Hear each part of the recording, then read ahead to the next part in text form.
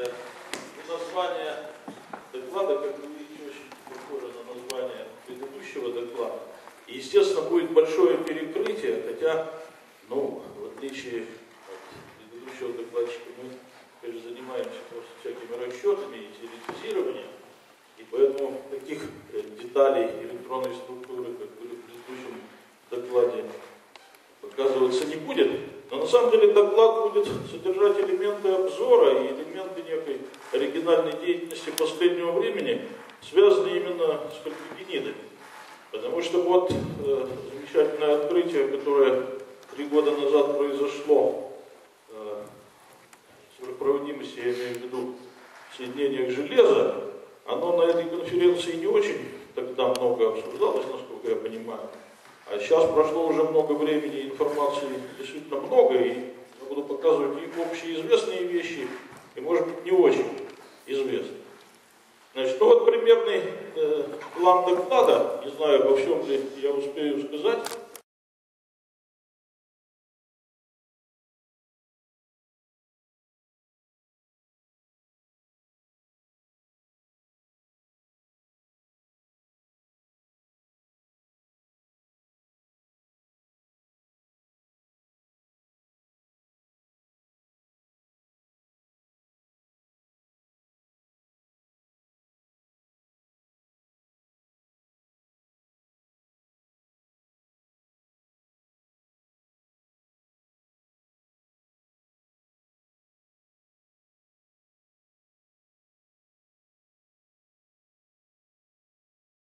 Действительно имеется такая более-менее универсальная значит, зонная структура, о которой уже шла речь. Когда вы имеете вот вблизи точки гамма три дырочных зоны и две электронных зоны вблизи точки М. Это повторяется во всех этих системах с небольшими количественными изменениями. Да? И действительно, э, э, вот если опять же не вспоминать тонкие детали насчет там, пропеллеров, о чем я сейчас говорить не хочу, собственно, потому что я и ничего сказать не могу. Но вот на самом деле все расчеты показывают действительно, что в этих системах поверхности фермы выглядят вот примерно так, как показано здесь. То есть есть три дырочных цилиндра в центре зоны Брюгена и, значит, пара цилиндров по углам.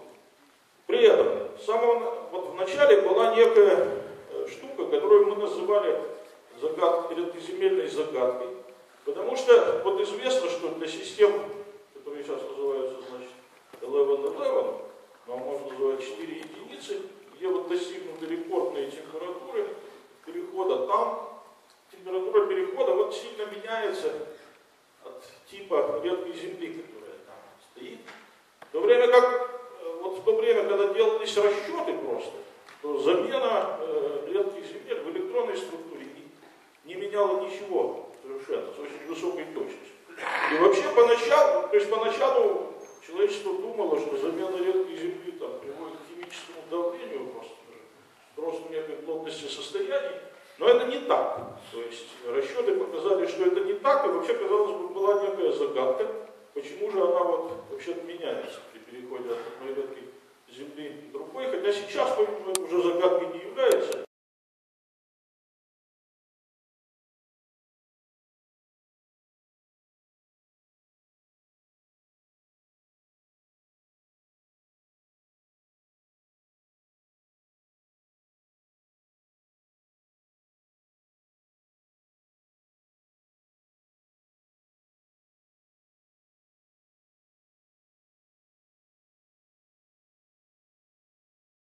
Нормальные фононы с некими характерными пиками на частотах порядка, естественно, десятков миллиэлектронов вольт. Вот есть, скажем, характерный пик, там, примерно на 35 миллиэлектронов вольт. Вот такие фононы. Про магноны я говорить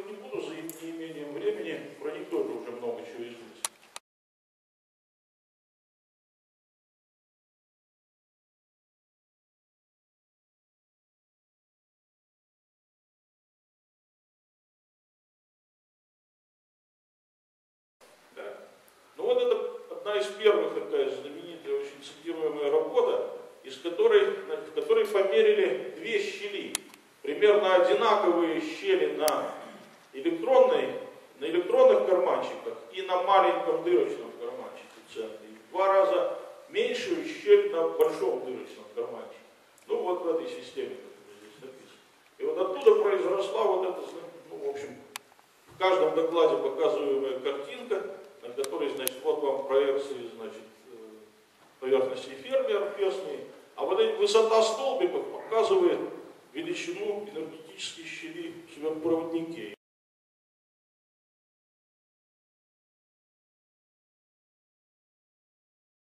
Она равна, значит, примерно равна щели на электронных цилиндриках, а вот на большом дырочном она в два раза меньше.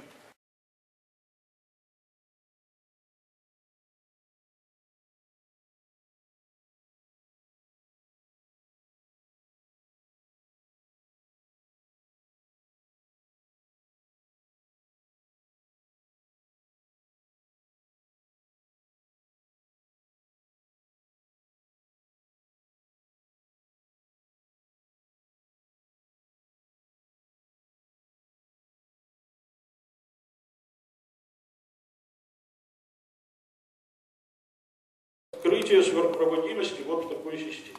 Так. То есть система, казалось бы, со структурой 1, 2, 2, так, э, которой, значит, в слоях э, мышьяк заменен на серу, а межслоевые пространства заполнены щелочным металлом. Так. Обратите внимание, что с точки зрения валентности здесь, в общем, все не сходится, поэтому сначала это называлось интеркалированной системой. Но система интересная, потому что тут получено было 30 градусов, там примерно ТЦ. И как мы сейчас увидим, по-видимому, эта система действительно сильно отличается от всего, что изучалось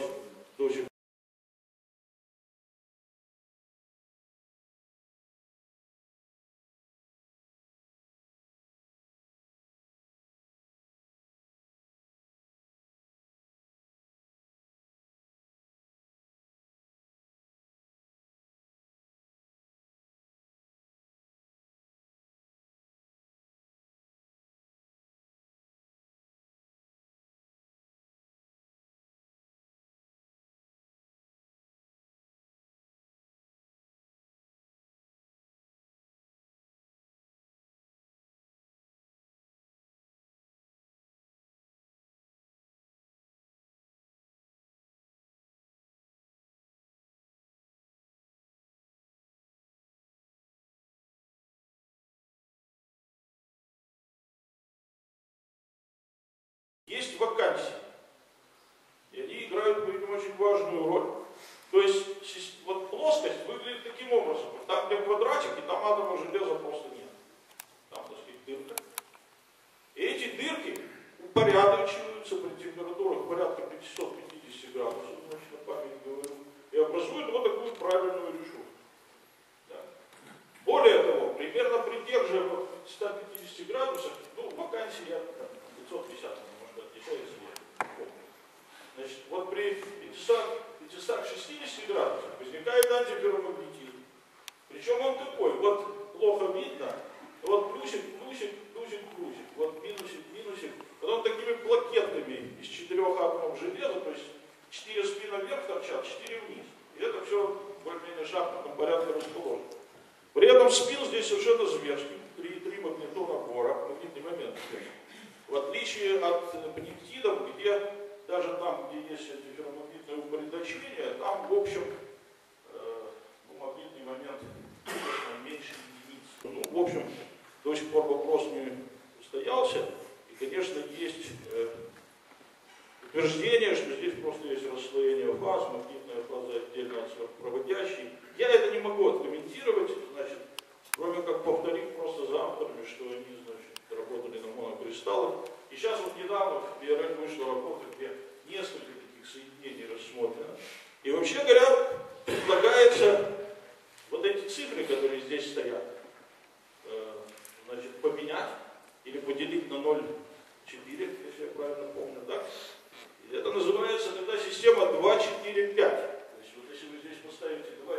привлекать, у вас все войдет, сольется с валентностями, как я понимаю. И это будет вот та истинная стихиометрическая значит, вещь, с которой мы работаем.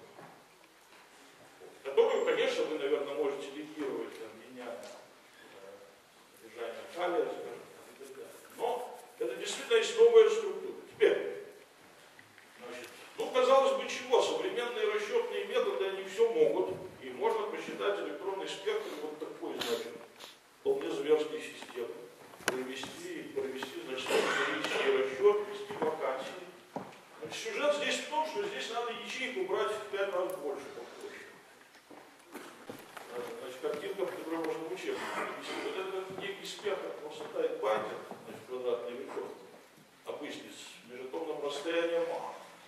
дальше взята, скажем, э, ячейка размера 4 на 4.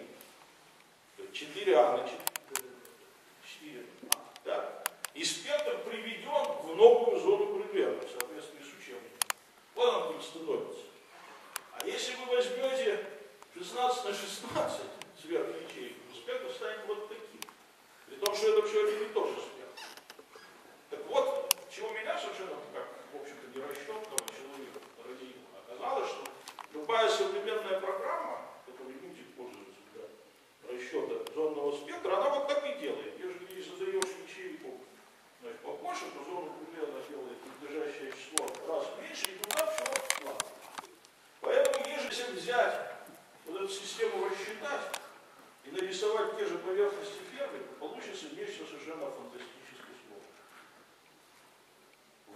Машина ни у кого, кроме пары людей, которые утверждают, что не придумали соответствующий логарифм, не может это развернуть обратно в ту зону пробелов, которые рисуют экспериментаторы, скажем, арпесные, которые рисуют, рисуют все в зоне пробела для структуры 1-2 дома. Так?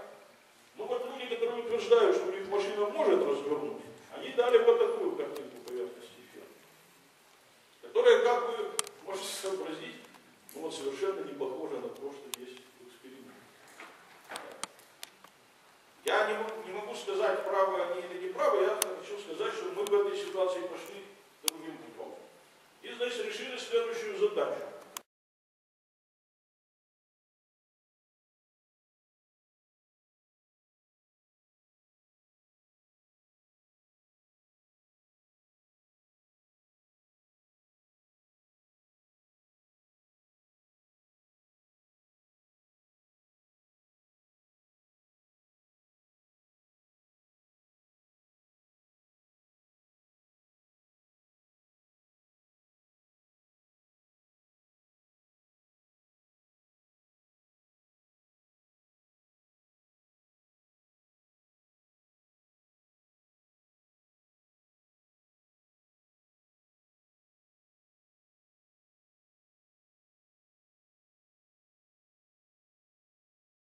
при разных уровнях ликвидирования на самом деле, они, конечно, очень похожи